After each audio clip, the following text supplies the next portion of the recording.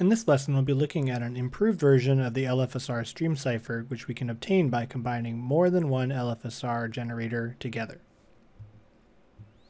So LFSR ciphers, as we've seen, are great at producing statistically random key streams, but as we just saw in our previous lesson, are very susceptible to known plaintext attacks. But turns out that by combining multiple LFSR systems together can create a system that's more resilient to known plaintext attacks and also have a longer period in the random digits that are being created. We'll do this by XORing the two LFSR output streams together to generate a new key stream, and we'll call this method the LFSR sum stream cipher. We'll do this by first defining two LFSR systems, and this is just an example, but we could expand out to other sized systems, but for now we'll look at a 3-bit LFSR and a 5-bit LFSR that have the following definitions. Our 3-bit system would be obtained by taking the previous bit number 1 and bit number 2, denoted by B1 and B2, added together mod 2 in order to determine the new value for bit 3. For our 5-bit LFSR system, we'll do this similarly. Here we'll use the letter C instead of letter B, so we can keep track of the bits 1 and 2 uh, for the different LFSR systems respectively. And the definition for this 5-bit system will be that we'll take the previous bit 1, 2, and 4, add them together and mod by 2 in order to determine the new value for bit number 5. We'll communicate the seed values using a 6-digit key, or 6 bits of information. For our example here, we'll use 0, 1, 1, 0, 1, 0. And the first two bits will be used for setting the seed value of our 3-bit system. Uh, they'll seed the values for bit 2 and bit 3. And then the second uh, round of bits, so the last four bits of our key, will be used for seeding the 5-bit LFSR. So that 1010 will set the bit values for bits 5, 4, 3, and 2 respectively. Both LFSRs will have their first bit always set equal to the value of 1, and this is to help avoid the situation where any one of these LFSRs uh, has a state where all the values of the bits in a particular row are set to zero. As we might have seen in a previous lesson, that when that happens, it's we're kind of set and stuck in that state. We can't get out of it, and our pseudo number, uh, pseudo random number generator no longer works. And the last piece of information we need is how are we going to combine these two uh, LFSR outputs to generate our key stream for encryption? We'll do that by taking off, just like we've seen before, the first two bits from each of the LFR systems, add and mod by 2, to generate the first bit of our key stream. So let's take a look at how this will work in practice. Let's start by looking at the way the LFSR 3-bit system will work. So we'll take our seed value of 0, 1, and as we mentioned, we'll put those into the positions of 0 and 1, so bit 3 and bit 2 in our table here, and we can follow those calculations down to complete this system. For the 5-bit, we could do the same thing. We'll take our 1010, set those to be the values for bits 5, 4, 3, and 2, have that value of 1 for the set for bit number 1, and we can apply these rules to fill out our table. And now we have two output streams, one for each of these LFSR systems. We'll line up our outputs. Here we are. We'll notice that the LFSR3, uh, if you were to follow that along, has a period of seven, meaning every seven bits we come back to the beginning of the cycle and the next seven bits will be the same as the seven bits that preceded it. Our LFSR 5, our 5-bit system, has a period of 15. So every 15 bits of information that are generated, the pattern will start over. Now, if we XOR these two output streams together, we'll get the key stream that we'll actually use for encryption. And one note about this key stream is that it has a period of 105. And in fact, that 105 comes from it being the least common multiple of the individual periods of the component systems. So 7 and 15, their least common multiple is 105. Now that adds a nice security feature in that we can take two simple LFSR systems and combine them in this method to create one with a much longer period uh, than it would be able to create just one uh, more complex LFSR system to get the same period. So there's some, some simplicity here of the individual components, and we can actually XOR them together pretty, pretty easily to generate this more complex system. Say we take the first 16 bits from that key stream and we'll use that to encrypt two pieces of plain text here, uh, lowercase n, lowercase c. Here we can see that we have the ASCII representation of that plain text written out in binary, And we can XOR the key stream with the plain text to determine our ciphertext message in binary, which happens to turn into the ciphertext uh, slash T or the tab button on your keyboard, and then a left curly brace. So those are the two characters in ASCII that those convert to. And that is kind of, in essence, what the LFSR sum cipher will do. It, it, it, operates in the end very similarly to a similar or a sim, simple one LFSR system, but we'll see it does add some security, and it's not just from increasing the length of the period. We'll see how this is a little bit more resilient to a known plaintext attack in the next part of this lesson. So let's take a look about how this system is a bit more secure than just using one single LFSR cipher on its own. So here's the ciphertext and the plaintext that we just deduced from the last page. And we can XOR those together. Say we were able to guess that first character of the plaintext, and we XOR that with the ciphertext we intercepted, we could determine the key stream, those eight, first eight bits of our key stream here. Now, with a single LSFR, LFSR, we were able to kind of work that backwards and determine the seed value. And once we had the seed value, we had enough information to go ahead and generate as much of the key stream as we needed to deduce the rest of our plaintext message. Let's see why that doesn't work in this particular system. If we have our key stream, here is a possible combination of LFSR3 outputs and LFSR5 outputs that would have generated that key stream if we were to XOR those together. So that's one possible way that we could have had the LFSR outputs. And if those that was the correct possible pairing, we could work those individually back to get the seed values for the 3-bit and the 5-bit systems. But we don't know for sure that that's a actual correct output pairing because here's yet another one. Notice that this is a completely different pairing of outputs from an LFSR3 and an LFSR5 system, but they would have produced the same key stream. And that's kind of the crux of the added security here. Just knowing the key stream that was used to encrypt the ciphertext doesn't give us any particular information about either one of the LFSR output streams. You could have gotten to that zero in the key stream by having a 1 and a 1 in both the 3 and the 5-bit system, or a 0 and a 0 in the 3 and the 5-bit systems. You could have gotten to that 1 in the key stream by having a 1 and a 0, or a 0 and a 1 this multiple opportunities to get to the same keystream value is what adds the security. Without having some additional information about the individual LFSR outputs, there's no way to determine which values each of those LFSR systems use to get to the keystream. Now, we will see, however, in just a moment, that there's still a way to crack this cipher if you know some of the keystream. So here's how we can begin to recover the seed values for our individual LFSR systems. Here we'll take a look at our 3-bit system that uses the same definition that we saw before. We could obtain bit, the value for bit 3 by looking at the preceding row's values for bits 1 and 2 and XORing them together, or just adding mod 2. But instead of having the actual values for the seed, we're going to use these placeholders of K1 and K2, where K1 is the initial value for bit 3 and K2 is the initial value for bit 2.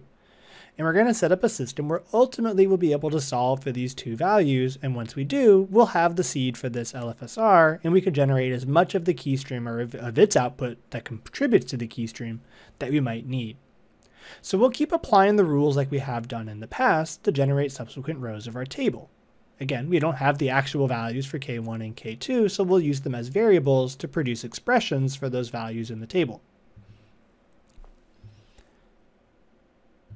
And here we'll see that this pattern in column 3 for bit 3, uh, we can simplify a little bit using some rules of modular arithmetic. Normally we would take the preceding value for bit 1, which is 1 plus k2, add that to the value for bit 2, which is k1 plus k2, and when we combine like terms, we would have had the expression 1 plus k1 plus 2 times k2.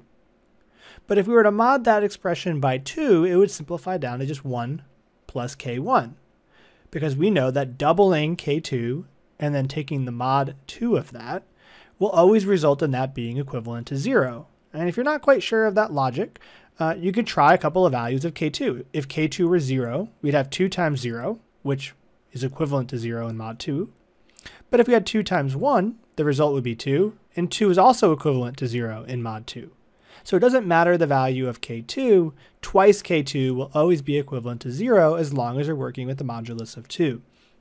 And that fact here will be the crux of much of our simplification that we can use for the rest of this process. We can see it again in the next row. If we were to take bit 1 and bit 2 from the preceding row and add them together, we'd have 1 plus 2 times k1 plus 2 times k2. And using the same logic from the previous row, we know that that's just equivalent to 1 in mod 2. And we have the rest of our table now filled out. We're going to set this aside, but we will come back and specifically look at the values of bit 1 in this column, and more specifically the expressions for those bits, since we don't have numerical values for most of the rows. Since they are the output of this 3-bit system that we'll be using to generate the key stream. Let's look at the same process now for our 5-bit system. Again, we have the same definition as before, and we'll start to fill in the rows to compute new values or expressions for those values for these bits. Like we've seen in the past, we can simplify some of these rows in order to reduce down their expressions to the simplest form. And we're going to take a look at that column for C1, since those are the bits that will be combined with the column for B1, or from the outputs from our 3-bit system, to generate our key stream. Let's collect all that information all in one place. Here's the expressions that represent the first 7 bits output from each of the 3-bit and the 5-bit LFSR systems. And if we were to add those together, we can simplify those down as well to obtain the following expressions. So we now know with the first seven bits from our LFSR sum, which in theory should be our keystream that we're using to encrypt the message. Assuming that we now know the seed values, we could just plug and chug here and determine the following zeros and ones for this LFSR sum. Now, how is this useful to us? Well, as we've seen previously, is that if we can guess a piece of plain text and we intercept the corresponding ciphertext, we can use that to compute the actual keystream that we believe to be true. And now we can set up a system of equivalencies, knowing that the first bit in the key stream that we got from our guess at the plain text and the intercepted, intercepted ciphertext would match up with the first bit from the LS, LFSR system with the given definitions that we have. And then likewise, the second bit corresponds with our expression in the second bit placeholder, third with third, and so on. So the keystream that we have from the known plaintext should correspond to the values, the theoretical values, that these expressions will compute for the LFSR, LFSR sum with the given definitions for this system. And let's see how that's helpful. We can use all of those correspondences to set up what's called a system of congruences. It's like a system of equations, but just in a particular modulus. So for example, I would know that K2 plus K6 is congruent to 1 in mod 2. How did I know that? Let's go back a previous slide.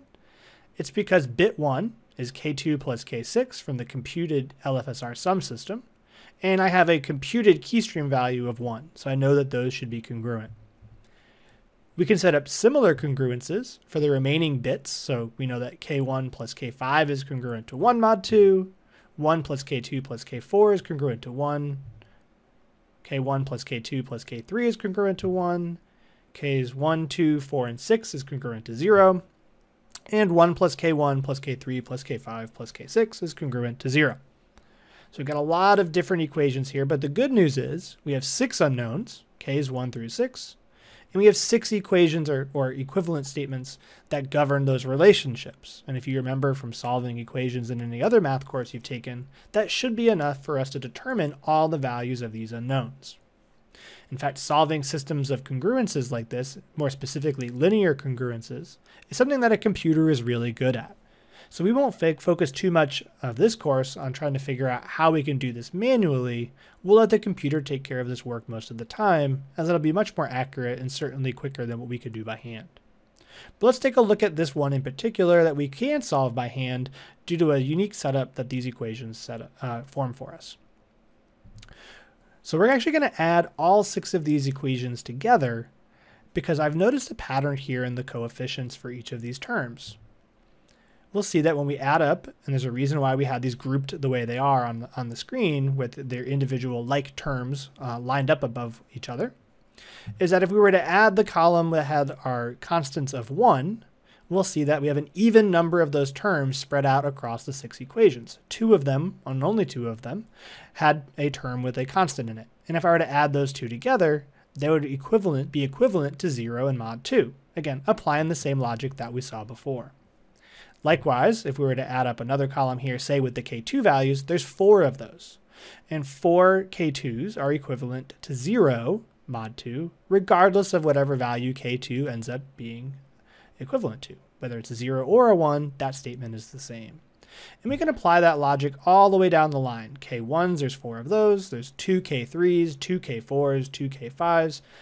The only terms that have an odd number spread out across all six of these is the K6 column. So we have three K6s, which is equivalent to just one K6 when we mod by two. Again, we're kind of reducing that by two which allows us to create a much simpler equation once we add all these up, just that K6 is, a, is congruent to 0 in mod 2. We now have one piece of information that we can now use to apply to other equations in that system to start solving for other values of k. So if we know that k2 plus k6 is congruent to 1, and we now know that k6 is congruent to 0, we really know that k2 plus 0 is congruent to 1, which implies that k2 itself is congruent to 1. And now we've got a second piece of information. Applying that to another equation in the system, we now know that 1 plus k2 plus k4 is congruent to 1. And when we substitute 1 in for k2, we're able to deduce that k4 itself is congruent to 1. And we're going to keep applying this over and over again until we have all six values for these six different k's that we were looking for. And at this point, we have all of the seeds that we need for both of the LFRs, LFSR systems. And if we have the seeds, we can compute the output for those two systems and combine them together to generate the key stream that we need. So even though it wasn't as straightforward as when we intercept a ciphertext and have a guess at the known plain text with just one LFSR, we can't just work it backwards directly to get the seed values we can always set up the system of congruences in order to combine these equations together and solve for the seed values this way. It's important to note out that note that this system really works well for us because all of these LFSR systems are in fact linear. That's the L in LFSR. If these were to be combined in a different way, where we didn't have just sums of these k values, but perhaps multiplicative terms, so like k2 times k6 instead of k2 plus k6, this would be a much more complex mathematical problem and add much more security to the system. We'll see in our next lesson that that's exactly what's been done in the past to attempt to encrypt from pretty sensitive information using the content scrambling system. That's it for the, this lesson on LFSR sum stream ciphers. At this point, you should know how to still use a known plaintext attack in order to set up a system of linear congruences that you can use to solve for the individual seed values and the individual LFSRs.